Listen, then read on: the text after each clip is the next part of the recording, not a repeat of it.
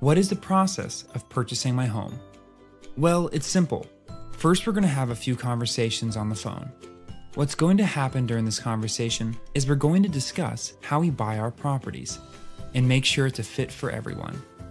We want to make sure there's a clear understanding of purchasing the property and that our goals are in line. We want to make sure that we're able to create a great situation for everyone.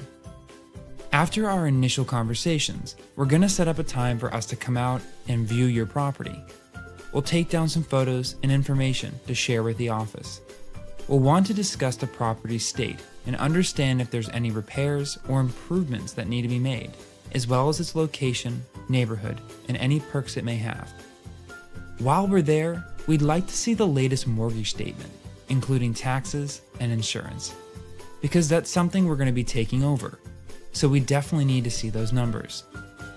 If you don't have it at that time, you can always scan them over via email.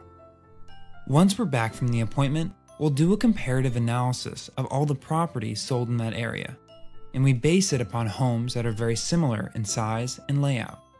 We'll then tell you what we've discovered and make sure that we're both creating a win win situation. Then we'll take all of your numbers, enter them into our forms, and send them to you via email to sign electronically. We normally use DocuSign. If you'd like to print and scan back, that's fine, whatever is easiest for you. Once signed, we're going to start working towards purchasing your property.